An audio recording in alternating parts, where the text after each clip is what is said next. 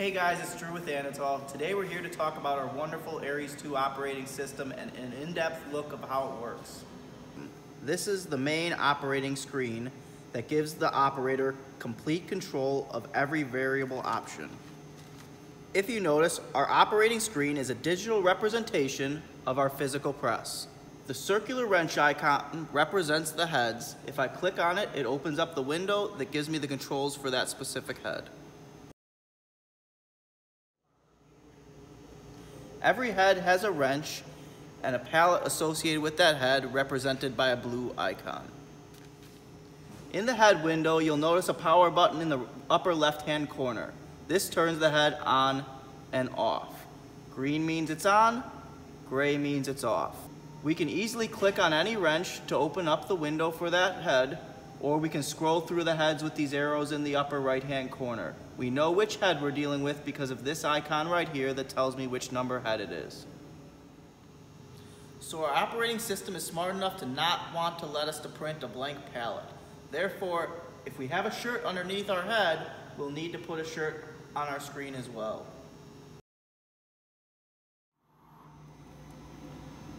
So we want to line up our bearings to our forks, allowing us to lock our indexer. So our operating system is intelligent enough to know whether it's lined up or not. If I hit the lock button and it's not lined up, it's just gonna flash at me until I bring the pallets into line.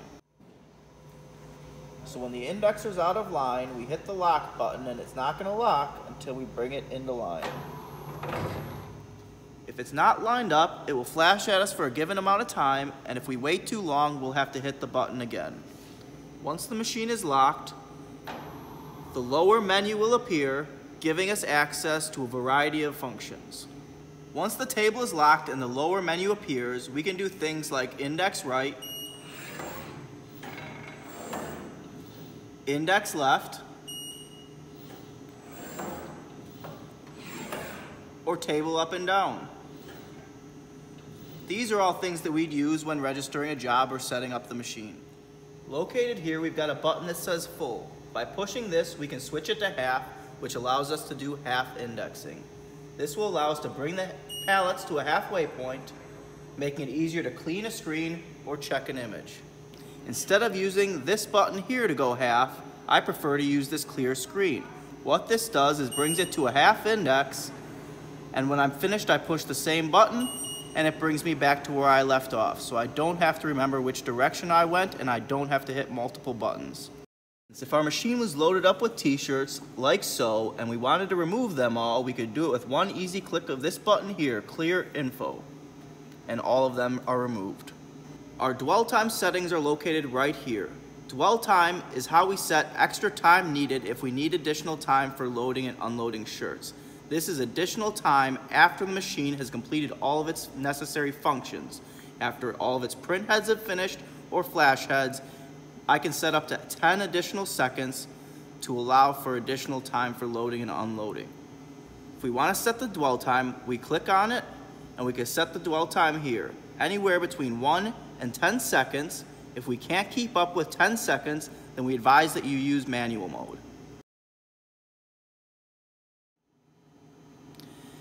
Manual mode is an option for people when they want to run a little slower. This is great for beginners, people learning, specialty garments, or things of that nature. It's also great as an owner-operator if we're trying to multitask and do more than one thing at once. Manual mode is going to be at my own pace where I'm going to be hitting the go button for every single t-shirt. Every morning our machine will start in manual mode. If we'd like to change to auto mode, all we have to do is click this button here and now we're in auto. Ideally, we want to be in automatic mode. Automatic mode is where we are going to try to keep up with the pace of the machine and we're going to keep moving at a steady pace. The machine is going to keep going until we hit the stop button.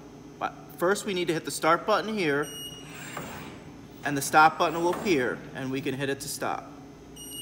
The stop button is not stop, this is an emergency. The stop is stop when the machine comes to a good stopping point. The machine's going to complete all of its functions and come to a good stopping point before coming to a complete stop. If there's some sort of an emergency and you need to stop the machine, we highly recommend you use one of the safety bars. We highly recommend using the safety bars in emergency because it's easier and faster for you to get to because they're located all the way around your machine. By moving one of these out or in on any of our heads should stop the machine instantly in case there's an emergency. In case one of these fails for any reason, we always have a fail-safe emergency stop. Located in the center of our press is our counters. These represent the number of printed shirts that we've completed in a production cycle. It will count shirts in both manual and auto production. So this number here is like the lifetime on our machine. This is like the odometer in your car. It tells you the lifetime number of prints printed on this machine. The only way to reset this would be to replace hardware or have a factory reset. This is the jobs printed. This counts how many I've printed in one job cycle. To reset this, I would go to my counter window. The button to open the counter window is located here. If we click on this, our counter window opened and we get the option to reset our job counter. Also located in our counter window is our remaining section. This allows us to set up the remaining shirts to keep better track of those larger orders and allowing us to keep our managers, production staff, and owners all on the same page at what's left to be done for that job. This is our new skip shirt counter. This allows us to keep track of how many times we're hitting the skip shirt button in a day. This will reset every day.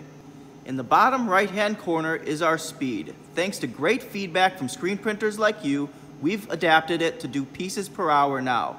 You can switch back and forth for our older customers who still like the dozens per hour, but we find that people really like to be able to look at the pieces per hour as well.